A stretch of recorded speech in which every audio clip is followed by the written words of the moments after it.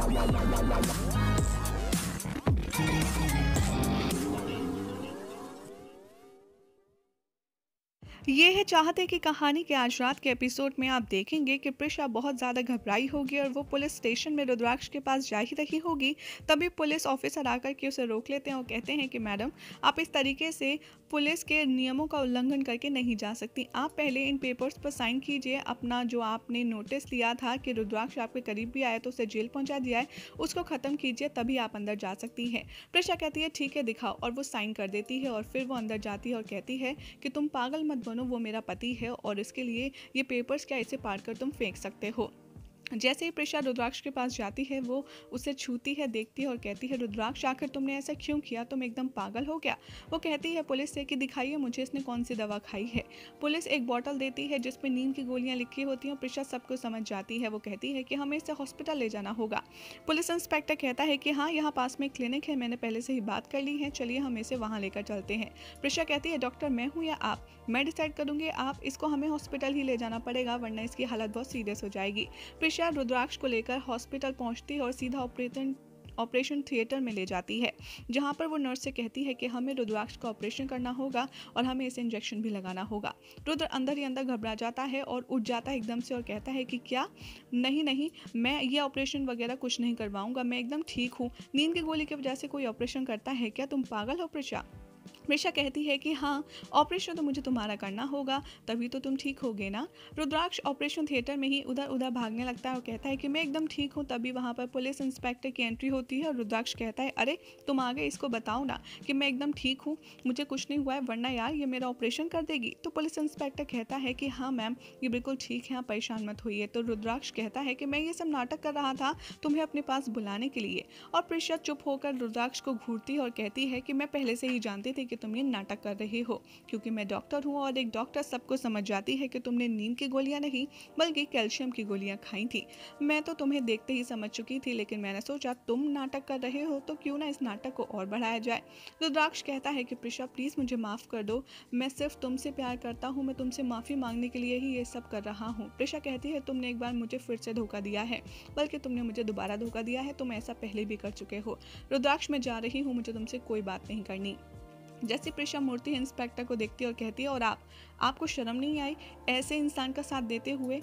और आप इंस्पेक्टर हैं, उसकी हिफाजत करने के बजाय आपको उसे अरेस्ट करना चाहिए उसके इस उल जलूल एक्टिविटीज़ के लिए। इंस्पेक्टर कहता है कि देखिए, मैं रुद्राक्ष का बहुत बड़ा फ़ैन हूँ और फिर फ्लैशबैक में दिखाया जाता है कि कैसे इंस्पेक्टर ने रुद्राक्ष की मदद की और कैसे रुद्राक्ष ने इंस्पेक्टर के साथ मिलकर प्रिशा को यहाँ बुलाकर उसे साइन करवाने का पूरा प्लान बनाया।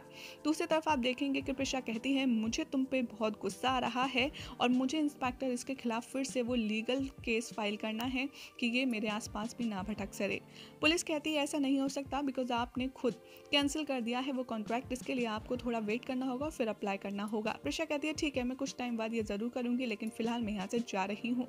दूसरी तरफ़ आप देखेंगे कि युवराज और महिमा आपस में मुलाकात करते हैं, जहाँ पर युवराज महिमा की खूब सारी तारीफ़ करता है और कहता है कि क्या चाल चली है तुमने? प्रिशा और रुद्राक्ष को इस तरह से अलग किया है कि प्रिशा तो रुद्राक्ष को देखना क्या? उसे छूने तक की परमिशन नहीं दे रही और बेचारा वो नल्ला खुराना तो बर्बाद ही हो चुका है।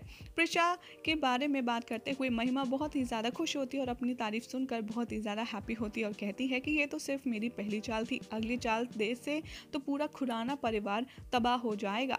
और रुद्राक्ष के बारे में सोच सोच कर युवराज भी बहुत ज़्यादा खुश होता है। दूसरी तरफ़ आप देखेंगे कि प्रिशा अपने घर पहुंचेगी, जहाँ पर जीपीएस यानी कि उसके डैड उससे पूछेंगे कि कैसा है रुद्राक्ष। प्रिशा कहती है कि उसको कुछ हुआ ही नहीं था अप्पा वो तो बस नाटक कर रहा था मुझसे मिलने का। युवराज इन दोनों की सारी बात छुपकर सुन रहा होता है और सारी बातें वो महिमा को कॉल करके बता देता है कि रुद्राक्ष ने पुलिस स्टेशन में सुसाइड करने का प्लान बनाया था, लेकिन झूठ वाली। महिमा को ये बात सुनते ही एक आइडिया आता है और वो अपने मिशन पर लग जाती है। दूसरी तरफ़ आप देखेंगे कि आहाना ज़ोर ज़ोर से अपने डिज़ाइनर के ऊपर चिल्ला रही होती है कि मेरी ड्रेस अब तक क्यों नहीं आई है? बताओ मेरी ड्रेस कहाँ है? डिज़ाइनर उसे इन्फॉर्मेशन देती है कि मैम मैंने ड्रेस डिलीवर करवा दिया है और वहाँ पर रिसीव भी कर लिया है। अहाना कहती है, लेकिन मुझे तो ड्रेस किसी ने नहीं दिया, मेरे पास कोई ड्रेस नहीं है। तभी वहाँ से महिमा उतर कर आती है और वो अहाना की ड्रेस पहनी होती है, जिसे देख कर अहाना फ्रीक आउट हो जाती है। वो कहती है हाउ डेयर यू तुम दो कौड़ी की औकात नहीं है तुम्हारी और तुमने ड्रेस इतनी महँगी पहनी है, तुम्हें पता भी है ये ड्रेस किसकी है? तुमने इसे ड्रेस को चुराने की कोशिश भी कैसे की? यहाँ पर महिमा उस पर चिल्लाती है और कहती है, संभाल के ज़ुबान अपनी बात करो क्योंकि मैं अब रुद्राक्ष खुराना की वाइफ हूँ।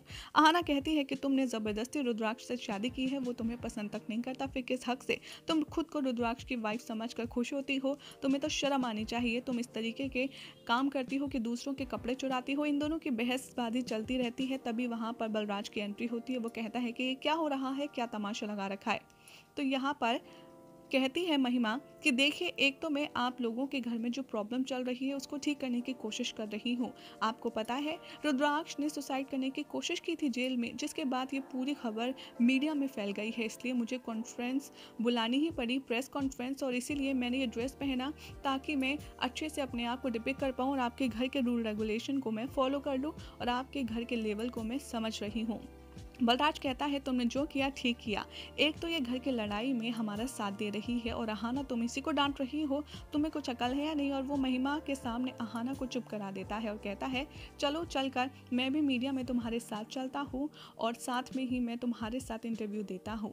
और यहाँ पर आप देखेंगे कि रुद्राक्ष के साथ में महिमा ने एक प्रेस कॉन्फ्रेंस प्लान की है, जिसमें क्या होगा, ये देखना होगा। बेहद इंटरेस्टिंग